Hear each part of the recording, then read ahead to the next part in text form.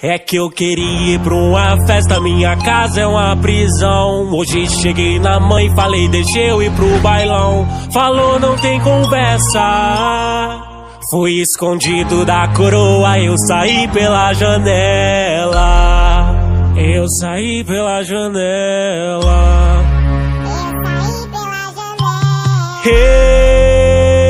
Eu já tava no bailão.